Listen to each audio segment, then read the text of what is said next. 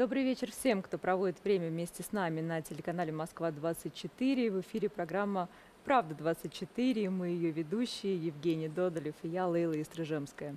И сегодня у нас в гостях актер театра и кино Игорь Жижикин. Игорь, здравствуйте. Добрый вечер. Здравствуйте. Спасибо, что нашли время и приехали сегодня к нам. Мы рады вас видеть. В середине ноября вышел американский боевик, который называется «Последний бросок», где вы исполнили одну из главных ролей. Расскажите немножко об этом фильме. Уф, э, ну а что рассказать? Ну, хорошее кино, героическое, я скажу, потому что это основано на реальных событиях. Э, э, это, это был такой, в Югославии был такой какой-то небольшой кусочек, я не знаю, э, где, э, где реально там вот откуда происходили наркотики, я не знаю, как это назвать. Э, ну, Золотой общем, треугольник. Да, балканский. Золото, да, балканский треугольник какой-то. И вот на этих событиях, ну, как бы основывался этот фильм, и, и нас... Ну, снимали тоже на Балканах где-то, в Болгарии, да? В Болгарии, да. Mm-hmm. Мы снимали, студия Баяна называется, замечательная, прекрасная студия. Причем у меня второй подряд прям там... Э, я первый фильм там снял э, с, Джер, э, с Джеральдом Батлером. И подряд у меня прямо сейчас вот... Э, с нашими замечательными, дорогими э, российскими актерами, с Равшаной Курковой, и с Ваней Макаревичем, и с Гошей Куценко. И мы просто... Э, такое счастье было приятно вместе сниматься. И... Игорь, а на ваш взгляд, вот сам жанр боевик актуален по сей день? Нет. Нет? Нет. Не актуален? А-а. С этого места поподробнее чуть-чуть. Ну, не актуален. Мне кажется, это уже чуть-чуть а, зашкаливает, потому что слишком мы, извиняюсь за выражение, задолбали боевиками угу. а, наших российских а, Зрителей. Зрителей, да, к сожалению. А почему нигде, знаю. кроме Голливуда, не умеют снимать боевики? Вот, ну, ни, ни в Европе, ни в Гонконге, ни вот Южная Корея и Голливуд. Это, это вопрос денег или это вопрос каких-то традиций? Во что это упирается? Почему там классные всегда вот э, эти фильмы с, вот, с элементами экшена? А у нас не получается. Честно? Честно, конечно. На, рассчитываю на, вот на прям честно. честно. Прям, прям честно-честно, да. Ну, вопрос денег раз. Так. Самый главный вопрос денег. Mm-hmm. Да, абсолютно. Ну, и второй вопрос, ну, наверное, он все-таки политизирован. Угу. Как мы не хотим об этом говорить, но это вот так вот. Угу. Ну а вот в последней работе, о которой мы говорим, там есть политические какие-то нюансы? Конечно, есть. Они есть, да, но они просто к нам никак не относятся. Они mm. относятся там к Албании, mm-hmm. да, о, о том, о чем мы снимали. Да, конечно, есть. Это политическая такая. Они поэтому и снимали это. Потому что это такая политическая работа, и они хотели там для себя какую-то выгоду сделать. Понятно это все абсолютно, но для нас это ну, не особо интересно, а для них да. Скажите, пожалуйста, на ваш взгляд, почему вот э, в Голливуде русских ассоциируют, я не знаю, наших актеров, сдают им роли каких-то бандитов? Вот откуда это и, и почему Ох, по сей я день устал это так? от этих вопросов таких. Хорошо, стойте секунду. В Голливуде, да, оценивают там русских. А у нас, подождите, а мы что, приглашаем э, голливудских актеров и делаем из них звезд здесь каких-то? Где? Ну скажите. Ну покажите мне хоть один фильм, где мы пригласили какого-то там, я не знаю, Клиниствуда или еще кого-то и сделали из него звезду. Ну, конечно, нет. У нас есть свои звезды, свои актеры, свои там крепкие орешки, свои там Арнольды Шварценеггера. Ну, конечно, нет. О чем вы говорите? И у них то же самое. А зачем? А зачем брать русского и делать из него звезду? Конечно, нет. Но, но, э, что интересно, что раз нас приглашают э, играть э, антагонистов таких сложных, да, серьезных, бандитов, уважают. Это серьезно, это значит ни поляков, ни чехов, ни, там, я не знаю, ни болгар, а русских. Значит, что? Значит, мы крутые, значит, а боятся? мы... Или уже нет? Вот. Боятся вот. Ну нет, я не знаю, как бояться нет, но, блин, мы крутые. Понимаете? Вот и все. Поэтому, а насчет бояться, не знаю. Да, конечно, бояться. Ну, вы зачастую играете таких негативных персонажей. Да нет, я хороших тоже играю. Хотели бы сыграть вот кого-то такого неординарного, вот я не знаю, для себя? И кого, если хотели, кого хотели бы сыграть? Какого персонажа?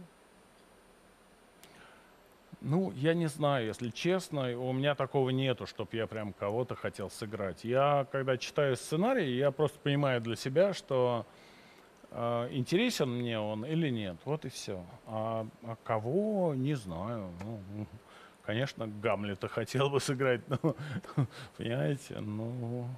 Но я так понимаю, что э, когда Спилберг пригласил э, вас, то вы не знали, о какой ленте вообще речь. Никто не знал из, из, из всех людей, которые были на кастинге, никто не знал, э, кто кого будет играть. Да.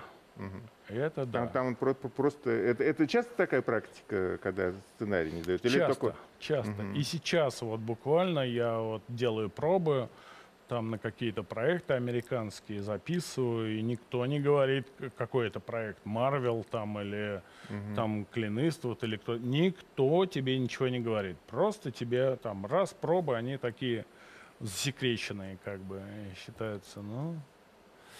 Э... Чем вот так актерская школа в Голливуде считается э, сильнее, чем наша? Mm, да ничем. Я не думаю, что сильнее. Я думаю, просто знаете что? У нас э, театральная школа самая крутая. Самая крутая. Тут даже гадалки не ходи. А у них как раз актерская потому что а, у нас учат играть, а у них учат жить. Жить ролью. Вживаться, скорее, да, в образ? Жить. Как хотите это воспринимайте, вживаться, что угодно, жить. Мне вот Бандерас рассказывал, что он уже стал э, думать э, на английском. Что Кто? Он, он, Бан, э, Бандерас, Антонио Бандерас. Что он же, он же испанец, а э, вот за время, которое он там в Голливуде провел, он уже вот переключился, и даже сны ему снятся на английском. А как у Жижикина с этим делом? Кстати, а, я на эту тему тоже думал. У меня бывает, что, ну, у меня все-таки две жены американки были. Да. И у меня тоже такое бывает, что я вот, у меня снится сон, и я этот сон э, на английском для себя, ну, ага. вот прям вот по-английски, по английскими словами, там все ощущаю и чувствую, и проговариваю, а потом раз просыпаюсь, и думаю, ядреный корень. То есть совершенно в другом социуме нахожусь. Э, но вот да, у меня такое тоже было, кстати. Но ведь язык, на котором говоришь и думаешь, он же, э, как пишут и говорят, он во многом определяет вообще менталитет. Жижикин стал американцем наполовину или нет? Или он остается русским? Игорь Жижикин, он русский или он человек мира? Я русский. Русский человек мира? Я русский человек мира. Послушайте, ну... я, мне, я счастлив там, где я нужен. Угу. И это очень важная вещь, да, вот я вот, ну, как-то, вот даже пример, знаете, я в 16 лет прожил в Лас-Вегасе.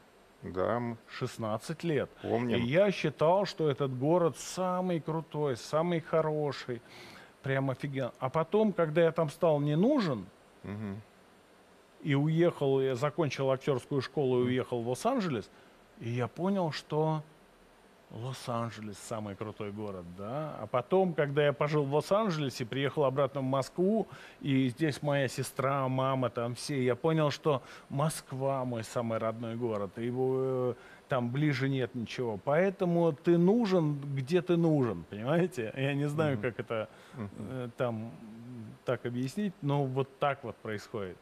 Мгм. Для вас важно сыграть в фильме мировой значимости? Или все-таки для вас важнее вот ваша постоянная занятость? Хитрый вопрос. А, Ну, конечно, Оскара хочется получить. Ну что вы, ну о чем вы? А, Но... Но, ну, слушайте, мы же понимаем, ну, как бы...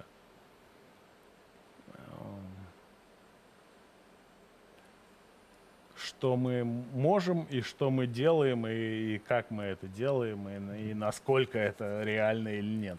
Ну вот, вот так вот. Это нереально, Мгм. по крайней мере сейчас. Про Оскар, раз мы заговорили, э, мы обсуждали немножечко до начала эфира э, последнюю работу Мартина Скорцезе «Ирландец». Мгм. А, ну так а, это уходящая вообще натура и уходящий жанр, то, что делает Скорцезе. Вот эти длинные трехчасовые а, какие-то гангстерские истории. А смотря о чем мы говорим. Мы Мгм. говорим о, о уходящая натура для кого? Для зрителя. а вы понимаете, что зритель разный, совершенно разный. У Мгм. нас здесь Так. и там. Ну там, я так насколько понимаю, там только подростки ходят в кино. Нет? Нет? Я, я не знаю, я по- поэтому, поэтому и Да? интересуюсь, да. Откуда это Ну, такая, как? Жень, такая? Нет? Нет, абсолютно нет. Слушай, ну поэтому культура чуть другая.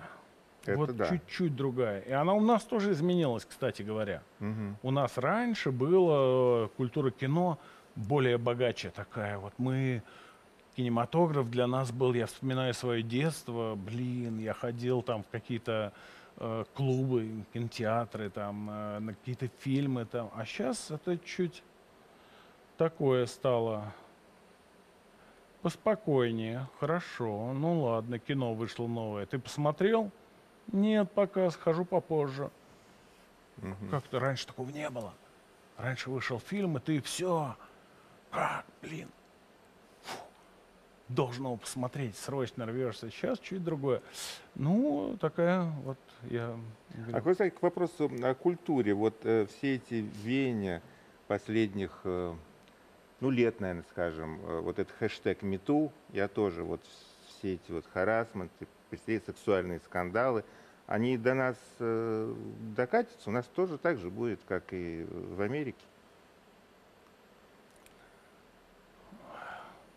Сексуальные скандалы? Ну, конечно, там же, там же се- сериалы целые снимают про, про По это. поводу. А ничего, что они у нас есть, и про них никто не говорит. Вот я и говорю, что вот э, э, будет у нас тоже как бы вот это Не будет. обсуждать. Не будет? Почему? Это Нет. вопрос культуры или вопрос традиции? Вопрос чего это? Ух, у нас такая передача интересная. Это вопрос э, всего. Мгм. Культуры, традиции. Вопрос того, что у нас это неприемлемо. Неприемлемо говорить об этом. Да, Мгм. да. Ну а там-то накрыть может? Я, я же помню на- нашу беседу там шестилетней давности и рассказ о том, что а, од- одна из работа была как раз в Лас-Вегасе, это м, соски выходящим э, танцовщицам льдом протирать. Сейчас же любая из этих 250 танцовщиц может подать иск к Жижикину. Нет? Не может. Мгм. Не может, потому что нет такого иска, э, не за что. Ну, Мгм. как бы не за что подавать. Нет такого иска, понимаете? Вот разница. Я не хочу просто углубляться, но есть вот, вот у нас, к сожалению. Ну, то есть, а то есть Харви Вайнштейну досталось за дело, вы считаете? То есть это не на ровном месте все. Он получил то, что должен был получить. Вот как я хочу пытаться понять м, позицию человека, который знает э, голливудский инсайт, который вот видит э, оттуда. Я не думаю, потому что это все происходит э, сплошь и рядом э, в Голливуде. По-прежнему. Конечно, абсолютно по-прежнему все это происходит. Поэтому я думаю, это просто человек попал, ну, под какую-то э, мясорубку, которая, ну, не знаю, под мясорубку. Ну, у нас невозможно, наверное, это, да, Жень? Я не знаю. У нас У невозможно. нас невозможно. А, да. Нет, у нас невозможен такой Надо скандал, такой чтобы скандал это, раздуть и вообще говорить Мне кажется, это не подхватят. Пока, во всяком случае. Вот, может быть, мы просто отстающие. Может быть, мы отстаем в этом смысле. Э, Не знаю, надо ли догонять Америку вот именно в этом аспекте. У нас ни один скандал не подхватывает. Вы так Я- с я грустью бо- это я- сказали, а сейчас... Да, я боюсь уже внедряться какие-то. Но вот, к сожалению. Оскар был упомянут. А, а там есть э, вот политические моменты, что там могут не дать э, или дать э, награду, исходя из... э, Конечно, каких-то- конечно. Это всегда, да. Политические моменты, они везде есть, абсолютно везде. Слушайте, в спорте, э, там, я не знаю, в, в кинематографе, где угодно, абсолютно везде есть политические моменты, и их э, правильные люди могут правильно использовать. Мгм. Вот и все. Абсолютно везде. Я прошел через это уже э, сто раз и понимаю, как, да. Я, насколько могу что-то перепутать, но мне кажется, что а, была речь о том, что бренды, да, первую э, жену звали, нет? Как, э, Нет? Ничего себе, даже я не помню. Да, да? Ну, а которая официантка была да, из да, Лас-Вегаса. да. Она же потом, по- когда ее бывший появился там на, на билбордах, э, на всех, пыталась же как-то э, возобновить э, отношения. Я скажу больше. Я возобновил отношения со всеми своими бывшими. Бывшими? Там, да. То есть клуб такой. Ну, да, можно Клуб так бывших. сказать. Мгм. И они мне там пишут что-то. Я такой человек, что я не конфликтный. Абсолютно э, не конфликтный. И вот, да, я со всеми как-то нахожусь в каких-то гармоничных отношениях и общаюсь. Да, не люблю конфликтовать. Я не конфликтный человек, сказал э, артист, который на съемочной площадке просто да. дал Кли- Клинту, Клинту Иствуду по лицу режиссеру. Это как, как Да, с- с- причем не Клинт, совмещается с... причем Клинт мне сказал, ты что, девочка, что ли? Я говорю, в смысле? Что ты меня не можешь там нормально тряхануть? Я говорю, могу, так сделай это. Я его как швырнул на 10 метров. И тогда он говорит, о, нормально, молодец.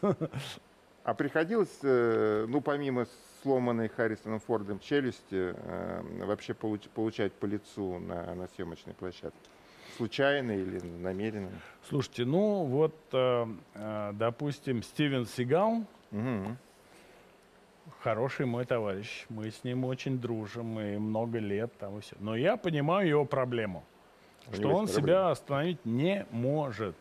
Он, если он с тобой работает, он тебе может сломать там челюсть, голову, шею, там все что угодно. Потому что он реально не может себя, вот он, вот если он в работе, все.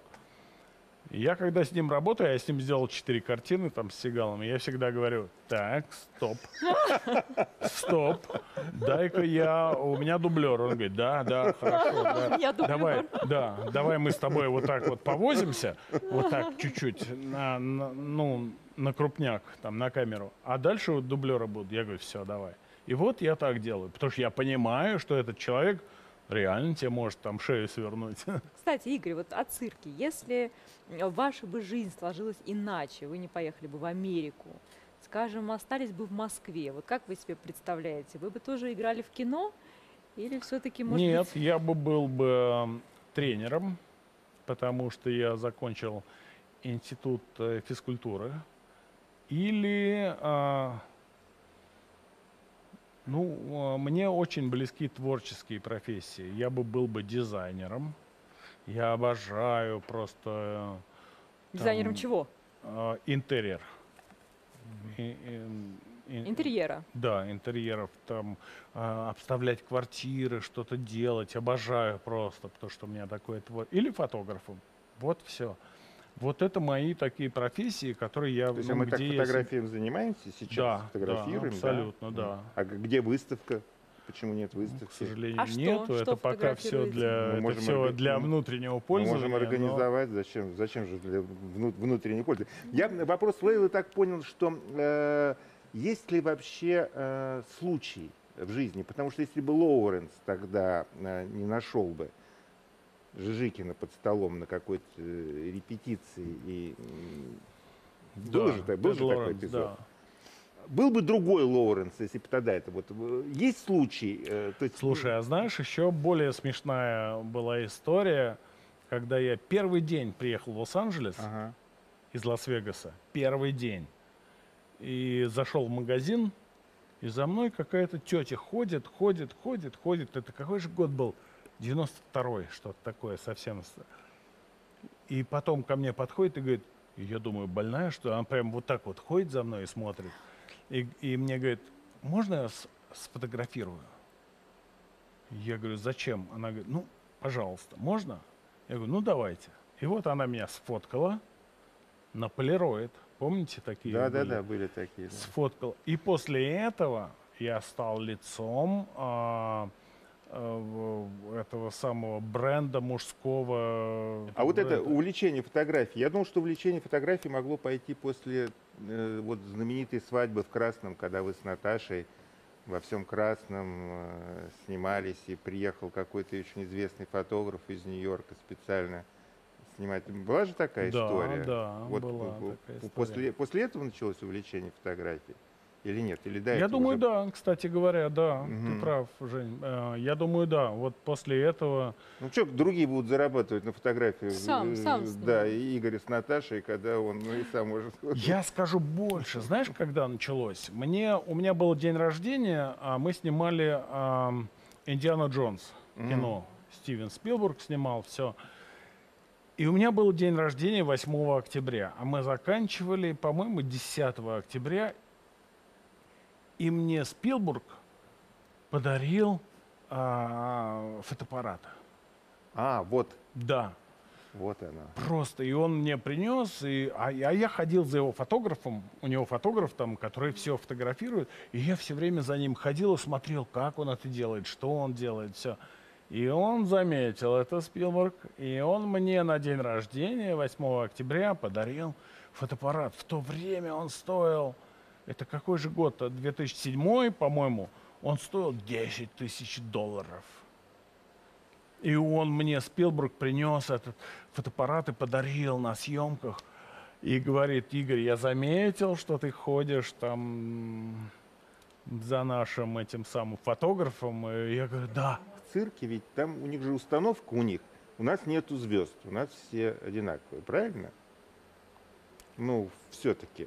А э, в Наверно, кино там там, можно обрести вот реально и обретен звездный статус. То есть человек звезда, он сам по себе ценен вне контекста команды этих сеток. Жень, и- знаешь, э, вот, допустим, в Голливуде, чем э, человек круче, тем он э, приземленнее, тем я вот все время удивлялся там с Анджелиной Джоли, там, то есть у меня хорошие отношения там. э, Да, Джонни- я, я вот сейчас перебью, я тоже слышал, что ей по лицу досталось от Джижикина. Это это слухи? досталось. да. Досталось, да? Так, Это, извини, извини, что это перебил. досталось, да. Ну, Джонни Депп, там, ну, вот такие люди, которые, казалось бы, настолько крутые. На самом деле, чем он круче, тем он там настолько приземленнее как-то. Я... Но это только в Голливуде, у нас это не Ну, У нас работает. нет, наверное. Понятно? Не всегда. Ушел не ответа. всегда. Не, не всегда, да. Слушай, я, э, я когда снимался в Индиана Джонс, и мне сказали, ты будешь сниматься с Кейт Бланшет. И я такой, кто это такая в интернете? Да Её- ладно? Ее нашел, да. Я не знал до этого. Кейт Бланшет, ну ладно. Нашел в интернете, думаю, а, ну что это, фигня какая-то. И за время съемок я в нее влюбился. прям по-настоящему. реально влюбился прям по-настоящему. И когда, и когда Спилбург нас пригласил э, на фестиваль в Канны, мы прилетели, и, и я там, конечно, так прилично выпил, и ей говорю, Катя, я тебя люблю. По-русски? Да. Ага. Так. И она говорит, Игорь, я тебя тоже. Я говорю, Катя, ты не поняла, я тебя правда люблю. Она говорит, Игорь, где ж ты был? У меня уже третий ребенок, я сейчас беременна. Это, понимаешь, ну вот. А снимать ее приходилось? Мы про, про фотографии говорили или нет? Нет, сни- нет. Я думаю, нет. что наша следующая встреча, надеюсь, э, будет э, какой новостной повод? Фотовыставка Игоря Жижикина. Я за это дело возьмусь. Спасибо И огромное. я возьмусь. Спасибо, Спасибо, вам, что ребята. пришли. Спасибо большое. Спасибо.